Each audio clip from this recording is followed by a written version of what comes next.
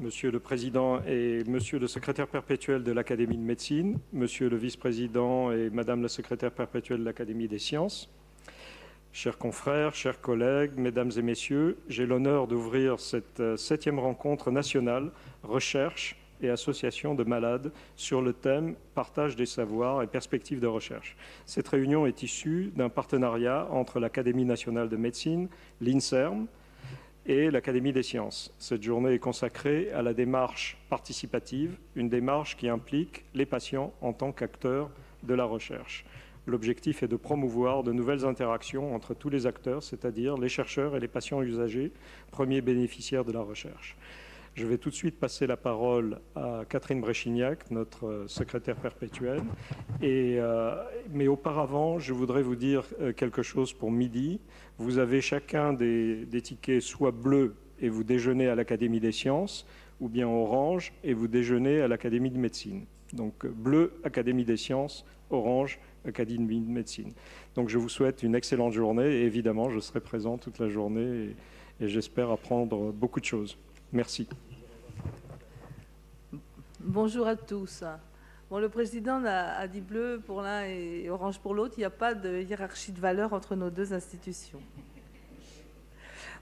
Donc, bienvenue dans la grande salle des séances de notre académie pour les septièmes rencontres Association de patients chercheurs initiées par l'INSERM. Elles sont pour la première fois organisées conjointement avec l'Académie des sciences et l'Académie de médecine, ce qui me réjouit et je voudrais saluer ici particulièrement le secrétaire perpétuel et le président de l'Académie de médecine. Chercheurs, médecins et patients se retrouvent ainsi pour échanger, débattre, interroger nos modèles de relations entre science et société. Et en ce qui concerne la, la santé, c'est un vieux débat, un vaste débat à l'heure de l'Internet, des réseaux et de l'information continue. Dans cette confrontation, les associations de patients constituent des acteurs, historiques qui, depuis maintenant plusieurs décennies, ont développé un regard et une expertise. La recherche biomédicale et plus largement la santé offrent un terrain propice à l'échange entre les opérateurs scientifiques, praticiens, les acteurs sociaux que nous sommes tous. Plus largement, la relation à la santé s'est considérablement infléchie ces dernières années. Moins verticale que par le passé, moins confidentielle aussi, elle s'est trouvée bouleversée par le développement de l'information médicale circulant sur les sites relatifs à la santé, qui sont parmi les plus nombreux, et qui sont dopés par une demande toujours accrue. Le patient, dans sa relation avec le médecin, est plus actif que par le passé. Il questionne, il se questionne, interroge, et fort des informations qu'il a pu recueillir au travers des sources qu'Internet notamment lui fournit, il demande des explications plutôt qu'un diagnostic qu'il connaît parfois déjà. Cette évolution s'inscrit dans la montée en puissance des opinions publiques autour des grandes problématiques scientifiques et technologiques. Des doutes, voire des méfiances envers la science, ont depuis quelques décennies traversé la société. Éduqués dans une logique rationnelle, ces interpellations ont pu déstabiliser parfois les scientifiques que nous sommes. Mais il nous faut savoir écouter, dialoguer, expliquer. L'écoute, l'échange, la pédagogie est le triptyque indispensable dont les scientifiques doivent se munir dans leurs relations avec leurs concitoyens. La confiance dans la science est un combat permanent. Elle exige de la part des scientifiques une prédisposition à débattre sans tabou avec le public qui aujourd'hui est susceptible de mettre le savoir en question. De ce point de vue, le partenariat Recherche biomédicale Association de malades nous apprend beaucoup sur la relation que nous devons construire avec la société. La recherche a ses spécificités, elle a ses méthodes, ses protocoles, ses instances. Elle est autonome. C'est même son indépendance qui constitue sa force motrice et créatrice. Pour autant, elle ne doit pas être en dehors de la société. Elle peut même s'appuyer sur cette dernière pour féconder sa démarche. C'est le cas de ce qu'on appelle aujourd'hui la recherche participative, qui fait intervenir des profanes ou des amateurs éclairés ou avertis. Cette recherche participative a débuté il y a fort longtemps avec les groupes d'astronomes amateurs qui scrutaient le ciel et notaient consciencieusement la position des astres, qui furent bien utiles ensuite pour comprendre leurs mouvements. Elle a pris son essor de nos jours grâce aux communications numériques et se développe avec les sciences de l'environnement. Je cite par exemple le site Opération Méduse, dédié au programme de signalement des méduses dans les eaux européennes, mis en place par l'association Mer et Littoral depuis octobre 2012. Elle s'étend au domaine médical. Cette recherche participative, qui associe recherche et société, ouvre des chantiers particulièrement stimulants et permet de diffuser la connaissance à un plus grand nombre. Elle devient un enjeu susceptible de croître au, au, travers du développement du traitement des grandes bases de données, dites aussi big data. Indéniablement, nous sommes à l'orée d'une ère nouvelle avec l'émergence des sciences plus collaboratives, ouvertes sur le monde et ses attentes, mais toujours mues par la soif de découvrir, de restituer les fruits de ces découvertes et d'expliquer pourquoi il est nécessaire de progresser. Je vous remercie.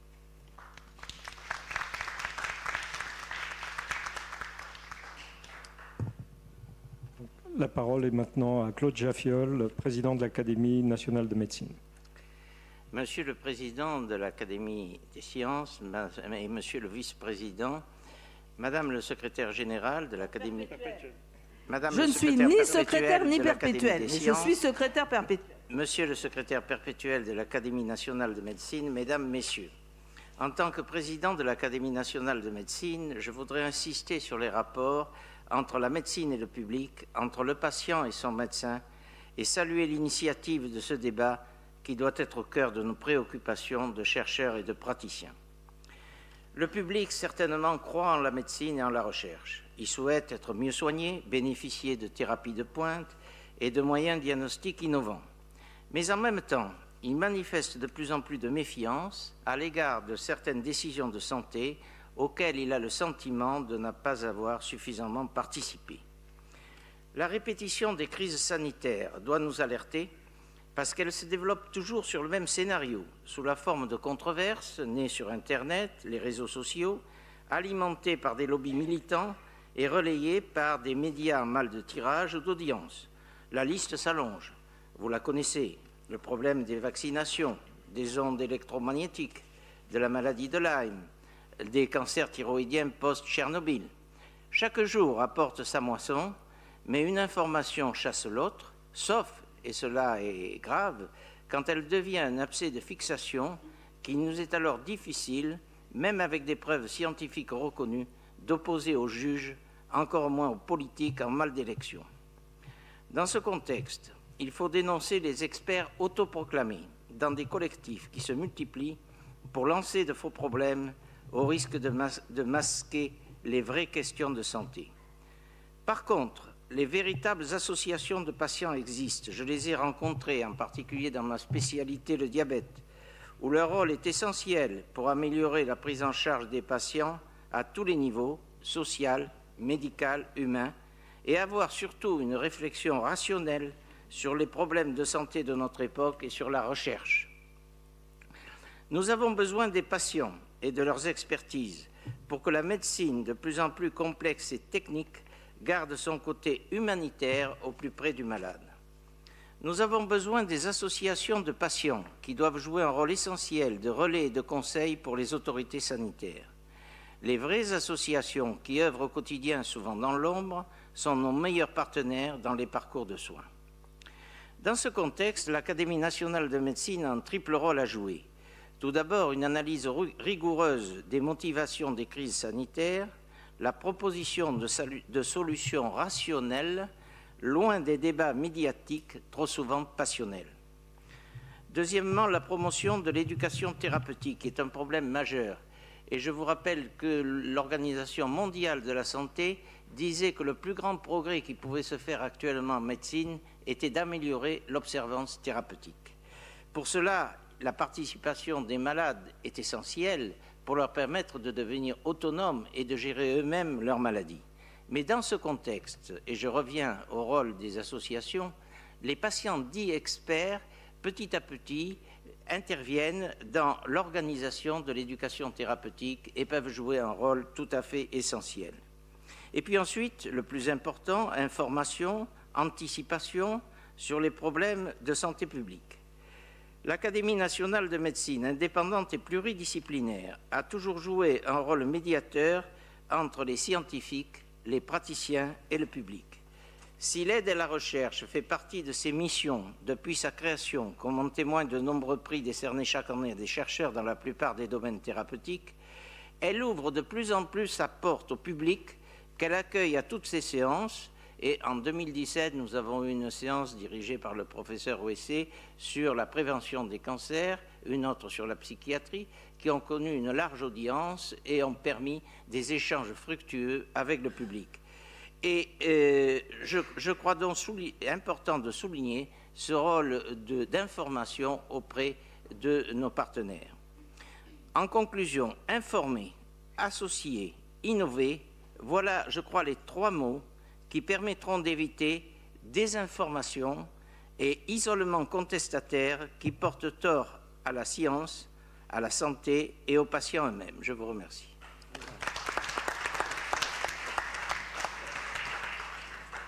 Merci beaucoup, Monsieur Jaffiol. Et maintenant, je passe la parole à Martine Bingener qui va euh, nous, euh, nous, présenter le message d'Yves Lévy, président de l'INSERM. Merci.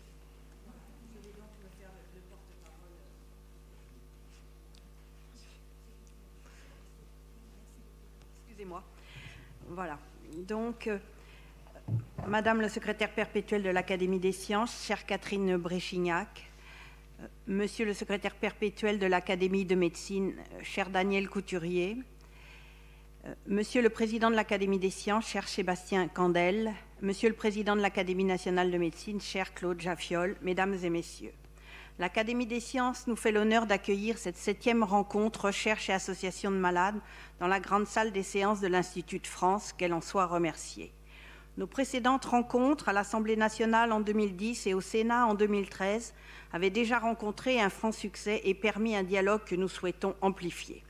Je voudrais juste dire un mot sur le problème de superposition des dates cette année. Ce début du mois de décembre voit la convergence de plusieurs grandes manifestations.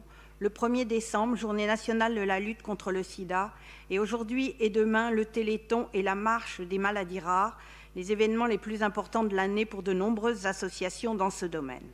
D'aucuns ont regretté la simultanéité des dates entre le Téléthon et notre rencontre. Je veux leur dire que notre rencontre recherche et association de malades d'aujourd'hui sert la cause de tous les malades. L'INSERM, en tant que l'AFM et d'autres associations, sont occupées sur des actions de terrain et ne peuvent intervenir autant qu'elles l'auraient souhaité mais il y aura néanmoins trois représentants d'associations qui vont intervenir aujourd'hui dans chacune des tables rondes et nous les en remercions tous très chaleureusement. Elles apportent ici à l'Institut de France la parole de toutes les associations. Nos engagements ici et à l'extérieur ne s'annulent donc pas, ils s'additionnent pour une cause commune qui nous tient à cœur. Depuis 2004, l'ITSERM a mis en place le groupe de réflexion avec les associations de malades, GRAM, creuset de discussions, de réflexions et de propositions placées directement auprès de la présidence de l'Institut et la mission INSERM Association, devenue la mission Association Recherche et Société, chef d'orchestre pour coordonner les actions. Ce partenariat solide et pérenne comporte aujourd'hui plus de 500 associations de malades. Nous y développons des chantiers importants et de longue haleine.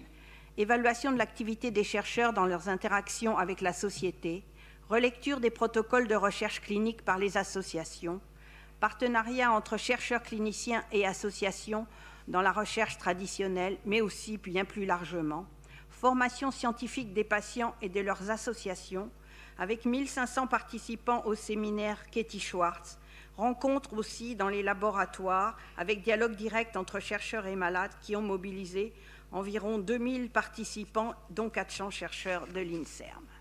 Aujourd'hui, les associations sont des maillons forts entre la recherche et la société civile. Elles sont un moteur d'innovation pour les nouvelles relations qui se construisent depuis plus de 20 ans entre la recherche et la société. Il s'agit de mieux penser le concept de savoir partagé et donc de recherche participative. Les enjeux de cette démarche sont nombreux. Promouvoir de nouvelles interactions entre les professionnels de la recherche et les patients usagers, premiers bénéficiaires des avancées scientifiques. Renforcer leur capacité de participer en tant que citoyens acteurs de la recherche. Reconnaître l'expertise du patient et de son entourage considérer la nécessité de l'aspect pluridisciplinaire dans la recherche et dans la réalisation des grands programmes comme les plans maladies rares, le plan France Médecine, France Médecine Génomique et bien d'autres. Ces questions mobilisent fortement les citoyens. Elles sont au cœur des convictions de l'INSERM et elles seront au cœur de vos débats. Ces débats qui vont mobiliser aujourd'hui plus de 260 inscrits, dont une moitié sont des représentants associatifs de près de 90 associations différentes et de l'autre pour une large part des chercheurs, ce qui est aussi un gage d'un dialogue équilibré. Je vous souhaite à tous et à toutes d'excellents échanges aujourd'hui.